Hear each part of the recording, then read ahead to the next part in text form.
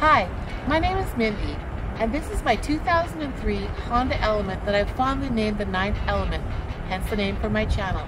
Today we're going to do a tour of it, inside and out, but let's start with the exterior.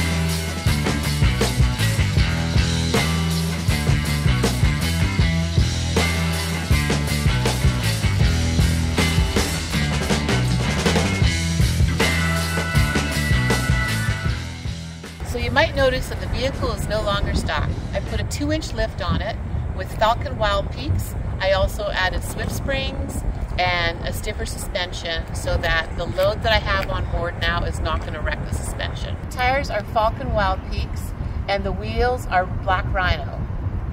The suspension is by Swift in the back and it's a Honda suspension in the front, the springs, and there is a two inch lift. I also put uh, Rhino Raptor on the doors, which is a truck bed liner.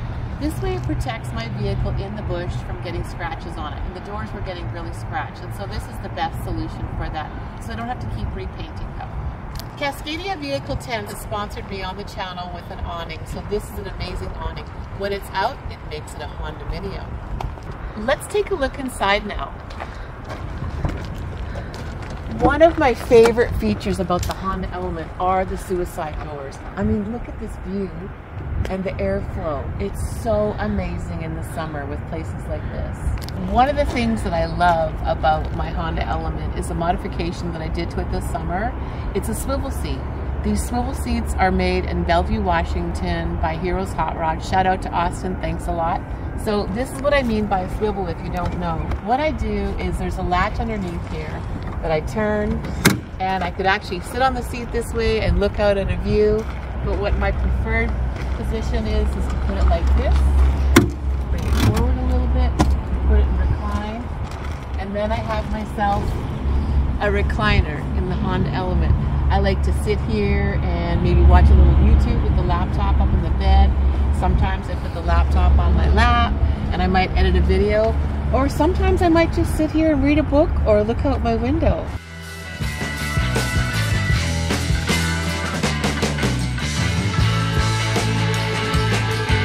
Currently, I live in my Honda Element full time. This year I did sell my house and I moved into it. This is 35 square feet. So I'm going to take you in from the front door. So this is my little sort of organizer for, you know, my morning routine, getting ready or my nighttime routine. So you know, toothbrush, water, headband, glasses, things like that. Just things that I use all the time on a regular basis. I keep them here.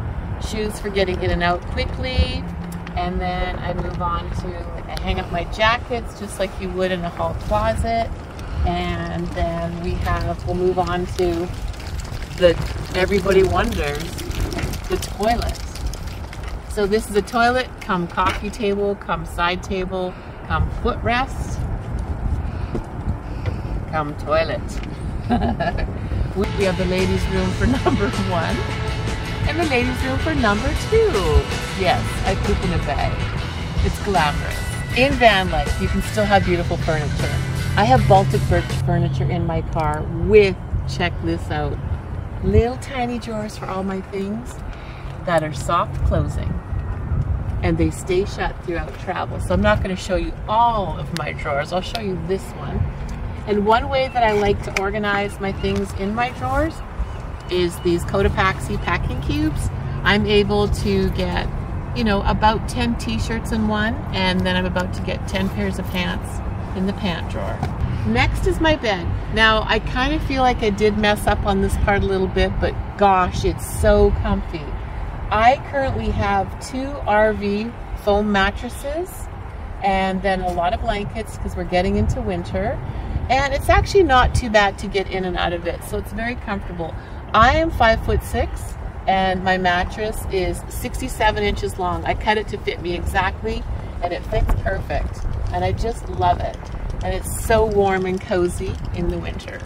A lot of people wonder, like, how do I stay warm in van life and stuff like that? I turn my car on and I turn the heater on. That's all I need. But this year I'm not going to have to worry about cold and you'll have to watch the channel for that and all of the adventures that are coming. For cool, Same thing, I try to be in the shade, I've got fans, and I like to camp at lakes or in higher elevation when it's hot out. So some of you might be wondering like, wow, Mindy, this is not enough space or storage for clothing. Well, that's okay. Come around to the other side of the car and let me show you the rest of my storage.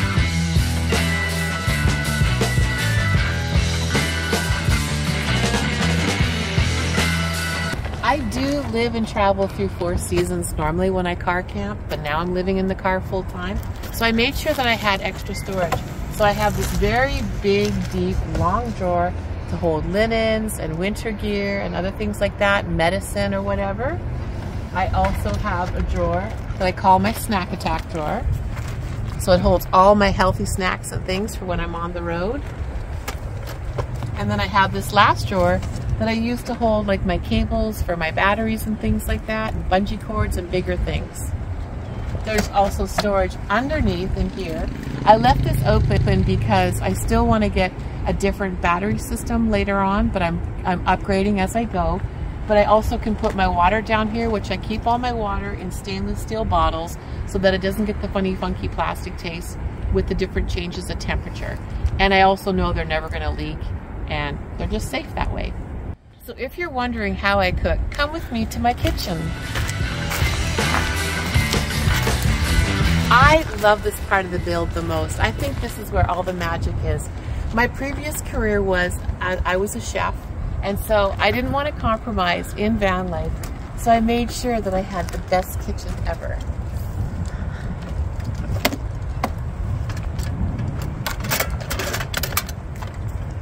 And there's my stove. I have all the utensils that you would need for van life. I have all the spices. I have dishes. I have cups and I have pots and I have pans. Everything, everything that I need.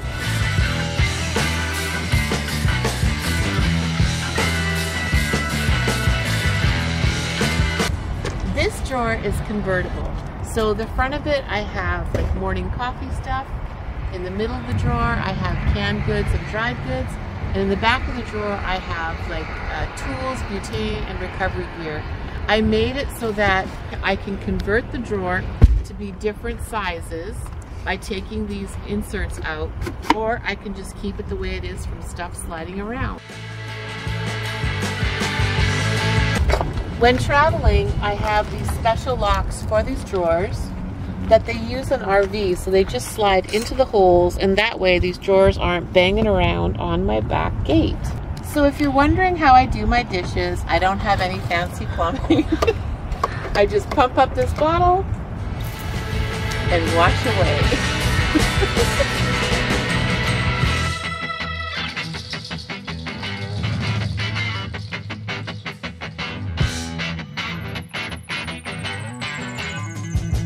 This is not a toilet. This is my fridge. Thank you, Bouge RV. This is a 30 quart fridge that's working 12 volts off of my Bluetti 700 watt battery here that's powered by a 100 watt energy panel on my roof.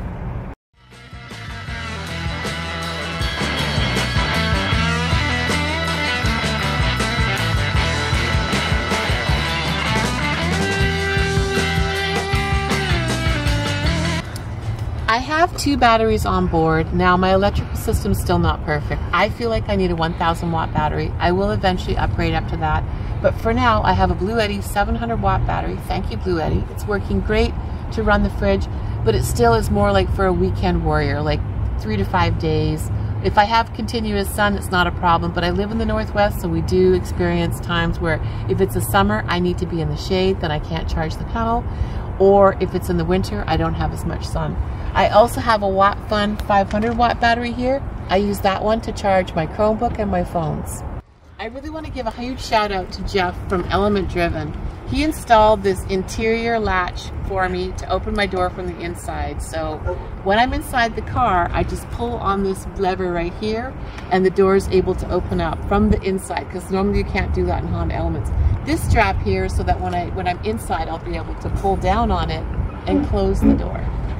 My window coverings are by Heat Shields. They're out of Bellevue, Washington. You can order your heat shields for your vehicle online from heatshields.com. But these are fabulous because they are You put the year, make, and model of your car into their website.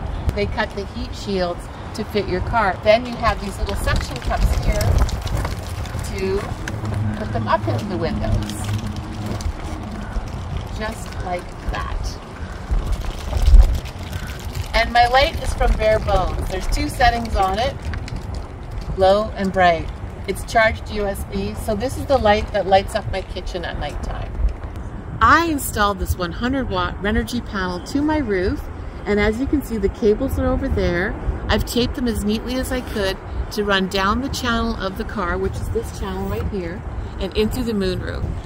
Do I think this is enough solar? Absolutely. I'm not charging a lot of, lot of batteries right now. When I upgrade, I don't know. But I, right now, I feel like this, this solar panel has been amazing, keeping my batteries topped off. I did struggle before when I was trying to use the portable um, solar panels because I always struggle with where to put them out. I also killed one because it flew off my roof because I left it up there and forgot it and it was run over by a truck. So this one is taped on real well. It's uh, with a special 3M tape. I'll leave links for all the products in my car in the descriptions down below, but I love it.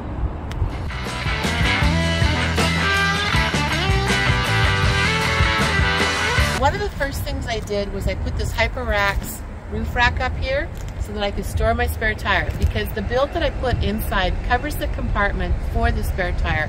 I want to thank Isaac from A Bus Life Story. He's behind the camera right now, guys, and he's going to interview me about my build. Mindy, so a lot of people out there who don't know you, like they would be, they're watching this tour, like, oh, this is such a sweet rig. Oh, she's moved in this tiny little Honda Element.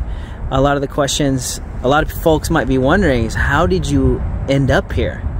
you know, did you get kicked out of somewhere? Like, how'd you how'd you get here? No, I uh, well, I've always dreamt of continuous travel, and you know, when I could retire and do it. But retirement, you know, nowadays is really far off in the future, and so I was fortunate enough to own a piece of property. And this past year, the market went crazy and so that was kind of my get out ticket.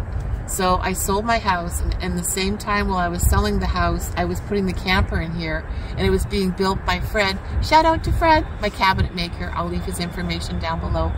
And so at the same time, the build was going into the Honda Element, and I was selling my house, and the market is too crazy to repurchase anything else. So I was like, Anne, I'm not interested in going back indoors again. Like, I am having such a good time traveling out of it and seeing things and just living my best life and being healthy that I'm going to do this until I can't stand it. A lot of people wonder how folks like you are making a living on the road. Do you care to share? I do. And how I'm making my living is from my YouTube channel. And so when you watch these videos, I get paid, and that's what puts gas in my tank and food in my belly so I can travel down the road. Van life is a very, I would say, younger person 30s kind of a, a trip right now, right? It's gotten really trendy over the years. There are, you know, a little bit older folks jumping into this, mm-hmm. but not very many. No. You are the minority. Yeah. So I know for a fact there's pe- there's older folks out there who are trapped in whatever they're trapped in. Yeah. And is there anything like you have the experience that you would say to that person watching this who's just scouring YouTube looking for inspiration?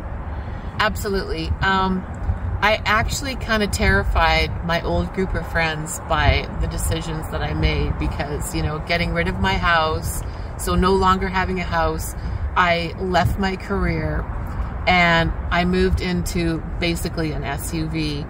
I'm not going to try and glamorize it and say, oh, this is the greatest thing ever and you should do it too. Because there are struggles, but it's a mind over matter thing. And it's like, I would rather have the freedom to travel and see things while I'm able bodied and I'm healthy and get healthy. I can always go back to work. But if I get old and I lose my body and my ability, I can't get that back to go out and play. So I'm kind of doing it a little bit in the reverse. Uh, but I think the biggest thing is just planning and then not, you know, spending $100,000 on a rig. Like maybe try it out in the car that you have right now. Go for a weekend. Go for a month. Go for the day. You know, take things that you have inside your house, put them in your car. And just like when you were a little kid building a fort, build a little build a little nest, build a little camper in your car with what you have right now and see how much you like it and then move on from there. And I bet you you'll love it. The road heals, my friends. I want to thank you guys for watching today. And again, my name is Mindy. This is my 2003 Honda Element. It's currently October 18th right now when I'm filming this, so it's going to be a later date when you see it. And I'm going to be somewhere south. And I want you to follow my adventures these next six months. We are overlanding now, baby.